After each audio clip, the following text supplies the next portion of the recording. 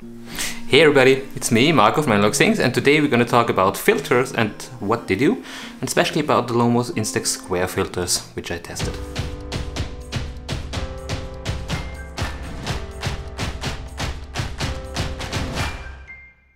Okay, let's get right into it. There's different filters for lenses or cameras, as you want to say it. And these filters do a bunch of things. Uh, so I don't want to cover all the details, which filter does what. But I want to talk with you about filters in general. What's their technical use, what's their creative use, and what can you do with them? And we just jump right into it. Uh, when I tested the Lomo Instant Square that you maybe saw last week in the video, there are a few filters that we that I had to test. I didn't really use all of them. Okay, so the best one for me was the red filter. I really enjoyed taking pictures with this red filter in front of the camera on color film, which is amazing because the color film just comes out duochrome like a Polaroid original duochrome film. And you just have to put that little red filter, this one here, in front of the camera and you get this amazing red image. But there's a lot of other filters with it. There's a ND, like gradient, shoot a, a scenery with some sky. You can put that one in front, darken the sky. There's some blue, orange, yellow, light orange, and at the end we got the star filter. So these are the filters that come with the Instax Square. All these filters have their use, especially some that I really enjoyed using. Um, I did an Instagram story with the question which one did you enjoy more. I put up the picture here, it's like the reddish or the uh, yellowish image. A lot of people just went for yellow maybe because the red is already so used or a lot of people seen it already. But I enjoy the red more honest.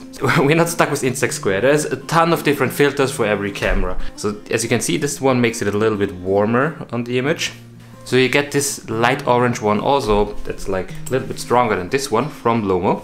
And it was really useful for me because this little filter in front of the camera, which makes me a lot more yellowish. Okay, so let's take a look at these two pictures I took. One with is with filter and one without filter. I mean, it's a really gray day, so there's not a lot of difference as you can see, but uh, you can see a little bit of a difference. The one shot with the filter, in my opinion, looks way warmer and gives it that that warmth that I'm missing on Instax film actually. So I really enjoyed that filter and I'm gonna use it for sure uh, on all my portraits and stuff like that.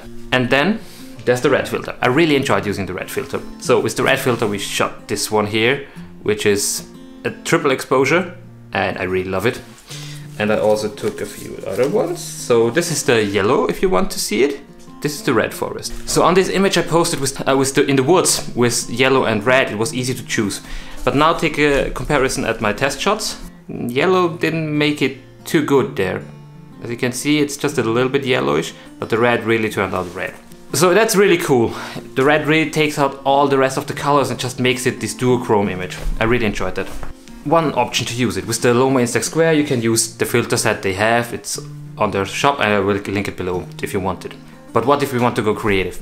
There's a picture I took a, a little while back and I took it on my beautiful 180 camera. And what I was aiming for is this combination of a red and blue image. This red and blue image combined to each other. You've seen it for sure. There's, there's a lot of digital images combined where you see a red image and a blue image and they're just overlaid. That's easy to achieve in Photoshop. It's just black and white, multiply, put them over each other. Easy as that.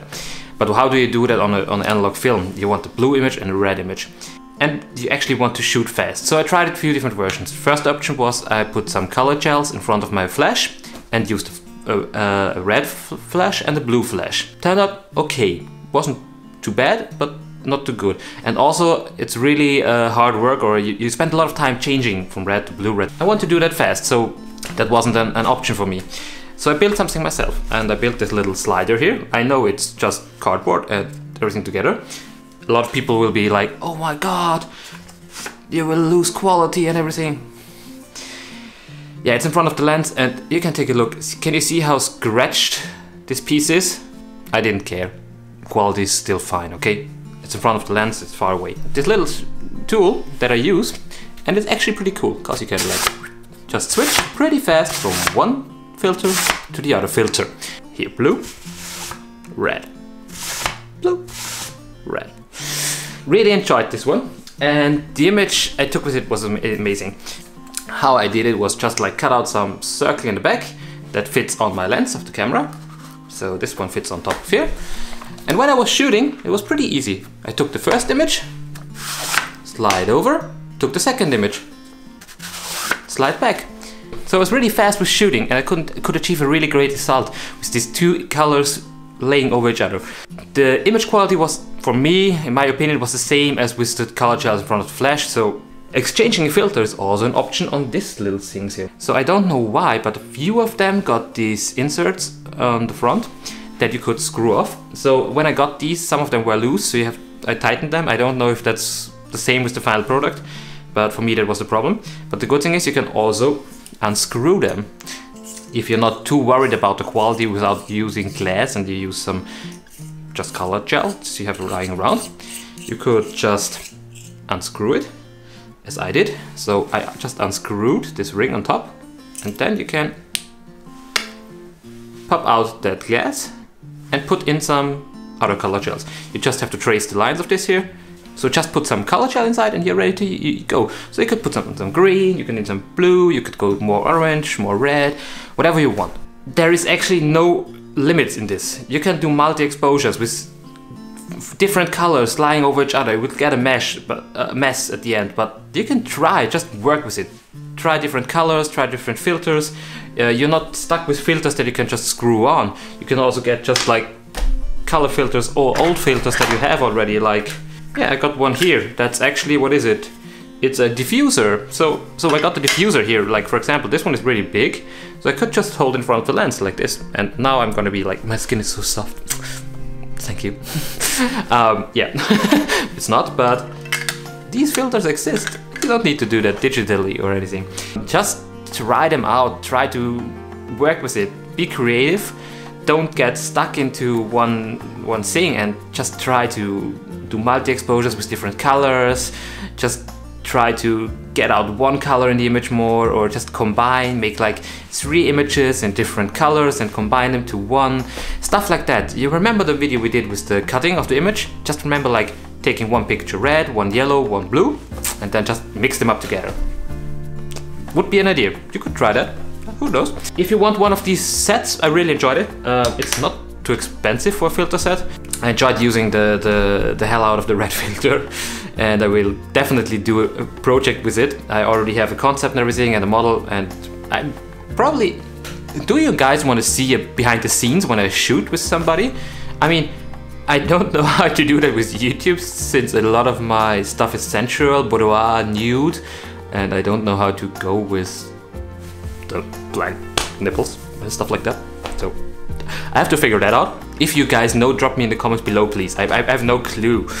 um, and if you want to see behind the scenes of shootings uh, I do, uh, also let me know below in the comments, because I have no clue if, if that's interesting. One filter we were gonna talk in a special episode is gonna be yellow and blue. Yellow and blue are really important to change the color temperature. And color temperature is something really sensitive. On analog, every film has a white balance that it's specifically developed for. These are the options with filters. Try to find some on flea markets, some old ones, they can be bigger, they can be smaller. Like if you think you'll be, you'll be secure enough to hold one in front of the lens and just shoot. So with these cameras as the Instax Square, that has just a lens this size, you can get whatever filter you want, because they will cover that thing. And what you could also use is I know they sell different color gels for the for the flash here, which you put in front on, on top here. But if you have this one and this one, guess what happens? Color filters are amazing and you can get them really cheap because nobody uses them anymore. And just take a look at flea markets, photo bucket, eBay's. You, I just got a bunch like I got filters. I got filters. I got a lot of them, and I paid nothing for them. Okay, like really nothing. Sometimes I got them for free from people and yeah. But it's fun to work with them. So keep in mind, don't get stuck on stuff you can buy. Also, you can build stuff yourself, like this one. If it fits the purpose, do it. Never get stuck in, in, in some technical issues or quality issues or something. If you want to achieve something, just go for it. Just try it out. If you have any questions about that, like drop them in the comments below. I'm really happy to talk about creative projects If you're not sure that, that like, or if you don't want to get your ideas too public, you can also write me a direct message on Instagram or on um, here on YouTube. And I, I'm really happy to discuss project ideas or concepts with you guys. Also, don't forget to tag my pictures, or, not tag, like put the analog things tag on Instagram. Okay, that's it for me today. If you liked the video, hit like. If you didn't like, thumbs down. If you want to see more content like this, subscribe, and I hope to see you next time. Bye!